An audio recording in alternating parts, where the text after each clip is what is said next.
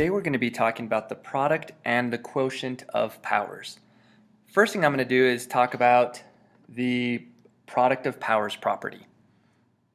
So let's start out with uh, two numbers here written in exponential notation. I have 5 to the fourth and I'm going to multiply that by 5 to the third. So really that means 5 to the fourth, 1, 2, 3, 4, four fives being multiplied by 1, 2, 3, three fives. So what we see is that I have a total of seven fives being multiplied together. Again, my exponent here is 7, and in exponential notation I see I have um, 5 being multiplied together 7 times. And that also works the same with uh, variables as well. If I have a to the fifth times a to the fourth, I have a times a times a times a times a times a, so on and so forth. You get the idea. That a is being multiplied together nine times. So using exponential notation, um, we see that I have a total of nine factors of a. So that shows me that I have a to the ninth. So maybe what you might be seeing is there's a relationship when you have similar bases. And that's what we're going to explore here with the product of powers property. Um, and that means that whenever I'm multiplying two similar bases, a to the, uh, um, what I'm just going to do is then add the exponents together. So in this case, I have a to the m times a to the n. I have two similar bases in a. What I do is simply add the exponents together to get my answer. And that is the product of powers property. We can see that in a couple of examples here. So I have 6 to the fourth times 6 to the third. Instead of writing out, you know, 6 times 6 times 6, so on and so forth, I can just take that base add my exponents together, and then I have 6 to the 7th. Same thing over here, I have negative 4 in parentheses squared times negative 4 in parentheses to the 5th. So that means I'm just going to take that negative 4, that's my base. Again, just add the exponents together. And then I'm left with negative 4 to the 7th. And that's okay if I have a variable as well. The product of powers property still applies. And I'm left with my answer of f to the ninth.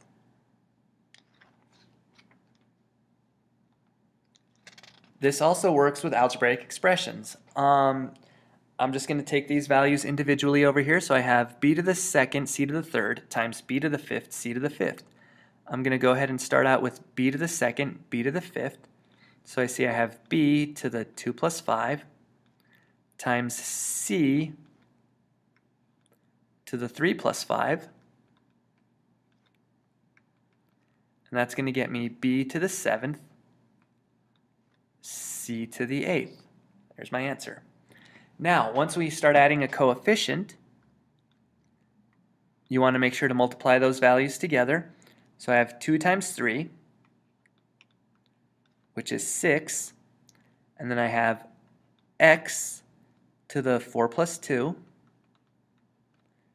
y to the 2 plus 6. So if we clean this all up, 2 times 3 is 6, x to the 6th,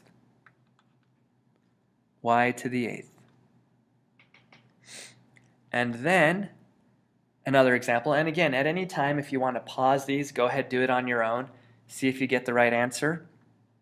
Feel free to do so. I have 4 times 5, s to the 4 plus 4, t to the 3 plus 6. When I clean that all up, I have 4 times 5, which is 20,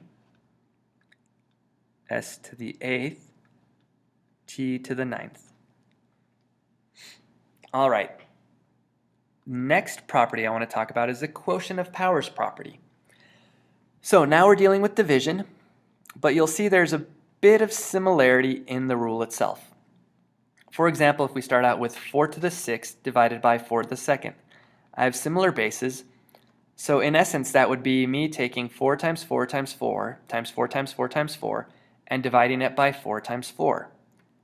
If you want to take a look at it this way, 1, 2, 3, 4, 5, 6, divided by 4 times 4, what you can see is if I'm going to cancel out the similar numbers here, 4s and 4s cancel out, that leaves me with 4 to the 4th.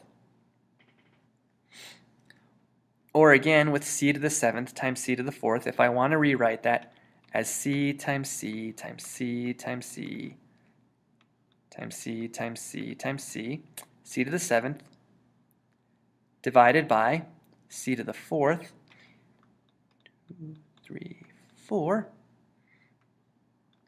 Then when I cancel out values, I see that I'm left with c to the third, and over here I was left with 4 to the fourth. So maybe, again, just like before, with the powers uh, product of powers property, you might see a relationship between the exponents here and your final number. Exponents here, 7 and 4, 3. And that leads to our quotient of powers property, which shows whenever we have a to the m divided by a to the n, so you have exponents with similar bases being divided. Um, that's the same thing as setting them over each other into a fraction, but the main idea here is that you're subtracting the exponents. So I have similar bases, different exponents, as indicated by the different letters here. A to the m divided by a to the n means what I simply need to do is keep base the same and then just subtract the exponents. Let's go ahead and take a look at an, a couple of examples then. So I have 2 to the ninth divided by 2 to the sixth, which means I keep my base 2 I subtract my exponents, and my answer is 2 to the third. I have 5 eighths to the sixth plus 5 eighths to, uh-oh, there's nothing here. No need to panic. That just means we have 1 5 eighths. So I have 5 eighths to the sixth. I'm not going to write that out because I know the quotient of powers property. And so I'm just going to subtract the exponents. And my answer is 5 eighths to the fifth. Now, in this case, if you're just asked to simplify, you're okay with your answer in this form. But if you're ever asked to evaluate, then that means you need to actually do the work to get some large, large and cumbersome number. But you don't need to do that right now, we're just simplifying. What about an algebraic expression over here? So h to the 6th k to the second divided by h to the 5th k. Well, I can take h to the 6th k to the second, and I'm going to rewrite that as h to the 5th k, just so I can see what I'm doing here separately. I have h to the 6th divided by h to the 5th and k to the second divided by k. Again, I'm doing this out the long way, but you probably have already arrived at the answer if you're doing this yourself. So I have h to the 6 minus 5, k to the 2 minus 1, which gets me h to the first, which we can just write as h, and k also to the first, which we can just write as k. So our answer here becomes just HK. Now, for our first challenge problem. Here's how it's going to work. From time to time, I'll give you a challenge problem. You get to try this out on your own if you dare, and then we discuss the answer to the problem in class. So our first challenge problem is b to the third, c to the eighth, divided by b to the second, c to the fifth, times b to the seventh, c to the 11th. I will say here, order of operations is important. Good luck.